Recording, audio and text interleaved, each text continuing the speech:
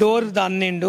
ఒక రోజు గొడవ అయితే ఇట్లా ఒక ఇంటర్వ్యూ తీసుకెళ్ళాం. తీసుకెళ్తే ఎంత అంటే పదిహేను వందలకు మాట్లాడండి సత్య. ఫిఫ్టీన్ హండ్రెడ్కి సత్య మాట్లాడండి ఫిఫ్టీన్ హండ్రెడ్ మాట్లాడితే ఇంటర్వ్యూ మధ్యలో ఏం చేస్తాడు? ఎంత ఇస్తున్నారు నాకు డబ్బులు? ఆపుతాడు. నాకు ఎంత ఇస్తున్నారు? పదిహేను వందలు ఇస్తున్నాం. నాకు ఫస్ట్ అక్కడ పెట్టండి టేబుల్ పైన.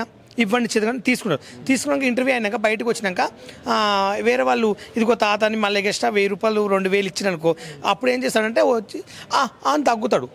తగ్గి నటిస్తాడు ఇక. ఇక రెండు వేలు ఎక్స్ట్రా ఇస్తారు. ఆ రెండు వేలు ఇవ్వగానే ఏం చేస్తాడంటే చూడు సత్య లోపల పదిహేను వందలు ఇచ్చారు నాకు రెండు వేలు ఇస్తారు అంటే వాళ్ళు మూడు వేల ఐదు వందలు మాట్లాడారు. నువ్వు ఈ రెండు వేలు దొబ్బేద్దామని ప్లాన్తో నన్ను తీసుకొచ్చి ఇట్లా మోసం చేస్తున్నావు. నా అంటే లక్షల లక్షలు నువ్వు ఇట్లా చేస్తున్నావు నాకు. ఇట్లా మోసం చేస్తున్నా చెప్పి ఈయన మీనికి లేచిండు. ఇప్పుడు చాలామంది ఏం చేస్తారు? పాలు రెండు వేలు ఇస్తే ఇంటర్వ్యూ ఇస్తా అంటే ఎక్స్ట్రా వెయ్యి రూపాయలు ఇస్తారు కొంతమంది. అట్లా తీసుకుంటే నువ్వు నన్ను ఒక్కళ్ళని ప్లాన్ చేస్తున్నావు సత్య. నువ్వేంది అని చెప్పి ఈయన మీద బేడ్ చేయడం. ఈయన రోజు ఆయన కోటరు బీరు మందు కోటరు సిగరెట్ టిఫిన్ మధ్యాహ్నం మధ్యం లైన్ నైట్ వేడి వేడి చికెన్ వండుతాం రోజు అన్న ఆయన కౌసులు ఏంది? వేరే కర్రీస్ తినడు. చికెన్ కావాలి అఫీషియల్గా ఫ్రై చేసిన చికెన్ ఇంత వేసుకుని ఇంత అన్నం తినడు. తిని కోటర్ మొత్తం తాగుతాడు సిగరెట్ తాగుతాం ఒక రోజు మేము ఎక్కడ తీసుకెళ్తే ఏమన్నాడు? బాలు ఎంత ఇస్తారంటే రెండు వేలు ఇస్తారు. తాత వాళ్ళు ఇంటర్వ్యూ కావాలంట మా ఫ్రెండ్స్ ఇవ్వండి అంటే ఇస్తాడు. మధ్యలో ఇంటర్వ్యూలు ఆపి నాకు ఇంకా వెయ్యి రూపాయలు కావాలి ఇంకా అయితే ఇస్తాను ఎట్లుంటే ఇప్పుడు ఇంటర్వ్యూకి పిలిచినప్పుడు నాకు ఇంకొక వెయ్యి ఇస్తేనే ఇంటర్వ్యూ చేస్తాను. నేను చెప్పి ఒక బీపీ షుగర్ అండి ఆయనతో నేను రెండు రోజులు చచ్చిపోయిన సత్తా నీకు ఎందుకు ఇలా అందరిని పట్టుకుని నువ్వు తిరుగుతున్నావు? నీకు బేడ్గా బ్యాన్ నేమ్ వస్తుంది వద్దు నువ్వు అలా తిరగొద్దు అలా చేయొద్దు. దయచేసి ప్లీజ్ ఇప్పటి నుంచి ఆయన పట్టించుకొని చెప్పిన ఆయన చిన్నదానికి పెద్ద గొడవ చేస్తారు సైకులా మాట్లాడతారండి. తాయండి అంటే తాయండి అంటే ఎవడు ఏందో తెలియదు you talking English this is నేను వరంగల్ టోపీ SI your understanding that interesting feel your you SI you close friend your you Rajamouli your your understand that Indian ఒక ఎమ్మెల్యే ఒక ఎంపీ యువర్ ఫ్రెండ్స్ ఒక family number is this is ఒక నేను అక్కడ నలుగురిని వేసాను నేను నలుగురిని చంపాను.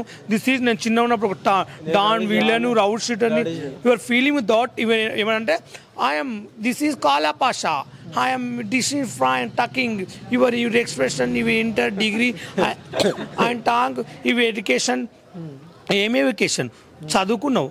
ఒక పవన్ కళ్యాణ్ తిడుతున్నావు ఒక మహేష్ బాబుని తిడుతున్నావు ఒక కేసీఆర్ తింటు తిడుతున్నావు ఒక రాజమౌళి నువ్వు ఎంతమంది తిడతావు? మొన్న దాకా పవన్ కళ్యాణ్ తిడతావు ఎందుకు తిడతావు? నువ్వు ఎవడు అసలు తిట్టడానికి?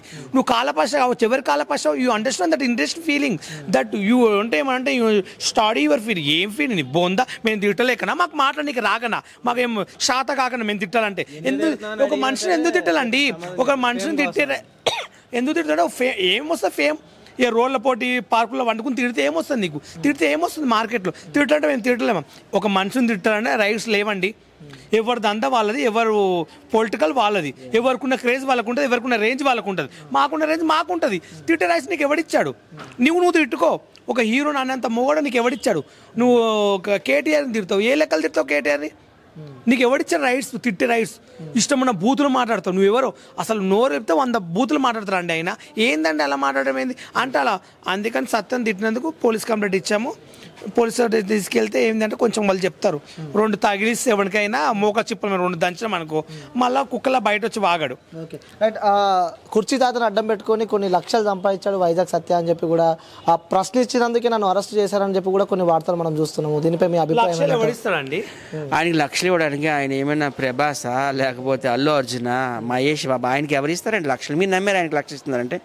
ఆయనకి లక్షల్లో రెమ్యునరేషన్ ఇస్తున్నారంటే నువ్వు నమ్మావా ఫస్ట్ అంటే గత కొన్ని ఇంటర్వ్యూలో కూడా కొన్ని నాకు లక్షలు ఇచ్చారని చెప్పి కూడా స్వయంగా కుర్చీ తాత చెప్పి అంటే కొన్ని ఇంటర్వ్యూలో చూసుకున్నట్టయితే లక్ష చెప్పిండు కొన్ని ఇంటర్వ్యూలో పదివేలు చెప్పిండు కొన్ని ఇంటర్వ్యూలో ఐదు వేలు చెప్పిండు. కొన్ని ఇంటర్వ్యూలో అసలు నాకు ఏమి ఇవ్వలే వైజాగ్ సత్యనే తీసుకొచ్చి ఒక కవర్లో మాకు ఇచ్చిండు. ఎంత తీసుకున్నా కూడా మాకు తెలియదు అని చెప్పి కూడా కొన్ని ఇంటర్వ్యూలో చూస్తున్నాం. అంటే జనాలను పిచ్చోలు చేద్దాం అనుకున్నారు అసలు? ఏం చేద్దాం అనుకున్నారు? ఆ, ఎందుకంటే చాలా మందికి ఒక క్వశ్చన్ మార్క్ ఉంది. అసలు ఎంత ఇచ్చారు అని చెప్పి. చెప్తే ఎంత అండి? ట్వంటీ థౌసండ్ ఇచ్చారు. ఇరవై వేల కన్నా రూపాయి ఎక్కువ లేదు నేను చెప్తున్నాను.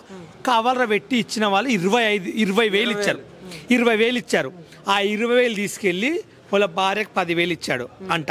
ఇంకా మిగతా పైలు తానికి పదకొండు వేలు. పదకొండు వేలు ఆమెకి ఇచ్చాడు. మిగతా డబ్బులన్నీ ఆయన తానే ఖర్చు పెట్టుకున్నాడు. పెట్టి ఖర్చును తాగుతున్నాడు. అంతేగాని ఆయనకి లక్షలు మాకే లక్షలు దిక్కు లేదు. ఆయనకి లక్షలు ఇన్కమ్ మీద రాజమౌళి అంబానీ కొడుక చిరంజీవి వంద సినిమాలు తీసినోడా? ఆయన ఏదో కుర్చో మడత పెట్టుకుని ఆయన ఓన్ డైలాగ్ తీసుకున్నాడు. ఆయన సినిమాలు చూపించలేదే. మహేష్ బాబు పక్కన నటించాడా? మహేష్ బాబు సినిమాలు ఇప్పుడు ఎంట్రీ సాంగ్ ఇచ్చారా? ఏదో డైలాగ్ వాడుకుని ఫేమస్ అయ్యాడు. ఆ డైలాగ్ వాడుకుని వాడుకుని ఫేమస్ అయింది కూడా దిస్ ఇస్ వైజాగ్ సత్య లేకుంటే ఆయన దిక్కే లేదు వైజాగ్ సత్య వల్ల ఆయన క్రేజ్ వచ్చింది. మార్కెట్లో పేరు వచ్చింది. లేదంటే పార్కుల్లో వండుకుని మూడు రోజులు నాలుగు రోజులు తాళం చేయకుండా ఇటు తీసుకొచ్చి బట్టలు ఇప్పించి సిగరెట్ మంది ఇచ్చి ఫుడ్ ఎవడు పెడతాడండి? ఈరోజు సొంత అమ్మనాయనకు కోట్లు సంపాదించి ఆస్తులు ఇచ్చిన అమ్మ నాయనలే చక్కగా చూసుకుంటలేరు. జనాలు పబ్లిక్ అలాంటిది అంబానీ కొడుకు ఆయన చూసుకోవడానికి. కొంచెం మనకు కామన్ సెన్స్ ఉండాలి. ఆయన తాగినప్పుడు ఏం మాట్లాడో తెలియదండి. దయచేసి యూట్యూబర్ బ్యాడ్ చేస్తున్నాడు యూట్యూబర్ అని యూట్యూబర్ తాపించిన ఎందుకు అనిపిస్తారు యూట్యూబర్? పని పట్టలేదా? ఎవరు అలా చెప్పారు ఆయన తాగినప్పుడు కొంచెం పిచ్చి పిచ్చిగా మాట్లాడతానండి. అంటే గతంలో కూడా తను ఇంటర్వ్యూలు ఇచ్చినప్పుడు మీరు కూడా స్వయంగా పక్కనే కూర్చున్నారు. అంటే ఆ సమయంలో కూడా ఐదు వేల రెమ్యునేషన్ ఇచ్చారని చెప్పి తను మేము కూడా స్వయంగా నాతో కూడా చెప్పడం జరిగింది. మరి ఆ రోజు మీరు ఎందుకు ప్రశ్నించలేదు? ఆయన కొన్ని ఇంటర్వ్యూలు ఐదు వేలు చెప్తుండు. కొన్ని ఇంటర్వ్యూలు పదివేలు చెప్తుండు. కొన్ని ఇంటర్వ్యూలు యాభై వేలు చెప్తుండు. కొన్ని ఇంటర్వ్యూలు లక్ష రూపాయలు చెప్తున్నాడు. మనం ఏదైనా మాట్లాడితే మన మీదే ఫైర్ అవుతుండు. ఏ నువ్వాగు నువ్వాగు క్వైట్ క్వైట్ అని అరుచుకుంటూ బయటకు వెళ్ళిపోతుండు. ఆయన చెప్పే చెప్తే వినే రకం కాదు. కానీ నేను మీడియాకి ఎక్స్ప్లెనేషన్ ఇవ్వాలి. ఎందుకంటే గుంటూరు కాలంలో ఆయన డైలాగ్ పెట్టారంటే దాని కర్త కర్మక్రియ అన్ని నేనే. నేనే ఎస్ఎస్ తమన్ గారి దగ్గర తీసుకెళ్ళాను మాట్లాడించాను డబ్బులు ఇప్పించాను. ఇరవై వేల రూపాయలు మాత్రం ఇచ్చారండి. ఇది అక్షర సత్యం. తమన్ గారు కూడా ఈ వీడియో చూస్తారు. గుంటూరు కారం టీం వాళ్ళతో నేను మార్నింగే మాట్లాడాను ఇట్లా ఇట్లా చేసిండని. అక్కడ మా త్రివిక్రమ్ శ్రీనివాస్ కో డైరెక్టర్ అందరితో నేను మాట్లాడతాను. అవన్నీ అబద్ధాలు ఫాల్స్ లక్షలు లక్షలు సంపాదించడానికి ఆయన ఏమైనా మహేష్ బాబా ప్రభాస పవన్ కళ్యాణ్ చెప్పండి. ఆయనకి ఎవరిస్తారండి లక్షలు? లక్షలు దిక్కులేవు కృష్ణకాంత్ పార్కులో అక్కడ బెగ్గర్లా పండుకుంటే మేము జాలి చూపించి ఇంటికి తీసుకొచ్చి స్నానం చేసి భోజనం పెట్టి మా టీంలో చేర్పించుకొని మేము ఈవెంట్లు తీసుకెళ్తే మా ద్వారా యాభై అరవై వేలు సంపాదించుకున్నాడు. నేను నేను నా చేతులతో వాళ్ళ భార్యకి వెళ్ళి ముప్పై మూడు వేలు ఇచ్చా. మిగతాదంతా తాగిండు. కొన్ని అక్కడ బార్లో రవి అన్న అయిందని పెట్టుకున్నాడు. కుర్చీ తాత వాళ్ళ ఫ్యామిలీ కూడా మీకు చాలా దగ్గర సంబంధం ఉంది వాళ్ళతో కూడా. వాళ్ళ ఇంట్లో వాళ్ళు ఏమన్నారు మరి దీనికి సంబంధించి? అసలు వాళ్ళ వాళ్ళ కొడుకు భార్య ఏమన్నారు వాళ్ళ ఫ్యామిలీ ఏమన్నారంటే తీసుకెళ్ళిన తర్వాత నాకు ఫోన్ చేశారు. ఇలా జరిగింది ఎందుకు? ఎందువలన ఏం చేశాడు? అని. వాళ్ళ కోళ్ళ మాట్లాడితే నేను అన్నా. ఇలా సత్య గురించి బ్యాడ్గా చేస్తున్నాడమ్మా. డబ్బులు తీసుకుని కూడా తీసుకోలేదు అంటున్నాడు. నేనున్నప్పుడే చాలా డబ్బులు ఇచ్చాడు. మొహం కింద నేల మీద పడేశాడు. ఇలాంటి మైండ్ సెట్ అంటే తీసుకెళ్ళేది ఏదో స్టేషన్ తీసుకెళ్ళి కాలు చేతులు ఇరక్కొట్టించి ఫోన్ చేయొచ్చు కదా. కొంపలో పడి తాళం వేసేవాళ్ళం. ఈ భరించలేకపోతున్నాం. ఈయన మాటలు ఈయన వీడియోలు. ఆయన ఏం చేస్తున్నాడు ఆయనకి అర్థం కావట్లేదు. స్వయంగా కుర్చీ తాత వాళ్ళ వైఫై ఈ మాటలు ఉన్నదా వాళ్ళ కోళ్ళు వాళ్ళ కొడుకులు. అంటే ఫ్యామిలీ పట్టించుకోరండి. నిజం చెప్పండి ఈ ఫేమస్ అయినాక వాళ్ళ వైఫ్ ఆయన ఎంబడి తిరుగుతున్నా అంత ముందు ఆయన బట్టలు ఆయన ఫుడ్ లేదు. మొత్తం వైజాగ్ సత్తా మా రూమ్లో ఉంచుకుని ఫుడ్ గిడ్డ అంతా పెట్టింది మేము. ఆయన చూసుకుంది మొత్తం. ఇప్పుడు మేము చూసుకున్నాం చెప్పి బయట చెప్పుకుంటే మాకు ఏమొస్తుంది మేము ఒకరి ఫుడ్ పెట్టి ఒక డబ్బులు ఇచ్చి మేము చెప్పుకోమండి. మాకు అలవాట్లేదు చాలా మంది ఏంటంటే క్రేజ్ కోసం చెప్పుకుంటుండ్రు. యూట్యూబ్ వాళ్ళు చూసి అబ్బా ఉప్పల వాళ్ళు వైజాగ్ సత్త కూర్చో వీళ్ళు పెద్ద ఫేమస్ కావాలి ఇంకా తోపుల్లా వీళ్ళు. ఇప్పుడు చాలా మంది ఏం చేస్తారంటే మైకులులా నేను బయటికి వచ్చినాక ప్రజలకు ఇది హెల్ప్ చేస్తాను అది హెల్ప్ చేస్తాను వంద మంది అన్నారు. ఎవడో హెల్ప్ చేస్తాడు ఎవడో చేయడు ఆడ ఆడున్నంత వరకు నేను బయటకు వచ్చి ప్రజలకు డబ్బులు నేను డబ్బులు ఇస్తాను. హెల్త్ బాగాలకు నేను అమౌంట్ ఇస్తానని పేక్ వరకే. ఎవడు చెయ్యడు. నేను ఇప్పటివరకు మార్కెట్ అలాంటి చేసినోడు ఉంటే నా ముందుకు రమ్మనండి. అంద అందమైన దేవుడు ఆ మూగోడు ఎవడు నేను భారతదేశంలో ఎప్పుడైనా నేను చూలే అలాంటి ఉంటే నేను చూస్తా రమ్మనండి. ఎవడు చెడు ముందే. నన్ను మన ఇండస్ట్రీలో మనని అవసరం కోసం వాడుకుంటారు వదిలేస్తారు. ఈ చా ఈ ఒక రోజుకు ఛానల్ ఎంట్రీ ఇప్పిస్తారు. నెక్స్ట్ సార్ మాకు కంటిన్యూ అవకాశం ఇవ్వండి సార్ ప్లీజ్. అంటే లేదండి. వాళ్ళే దెంగించుకుంటారు వాళ్ళే ఉంటారు వాళ్ళే వస్తారు. కానీ కొత్త వాళ్ళు మాత్రం పెట్టుకోరు. ఎందుకు మాకు? మా మా క్రేజ్ ఉన్నప్పుడు వంద మంది పిలిచారు. ఉప్పల్ బాల్ రా.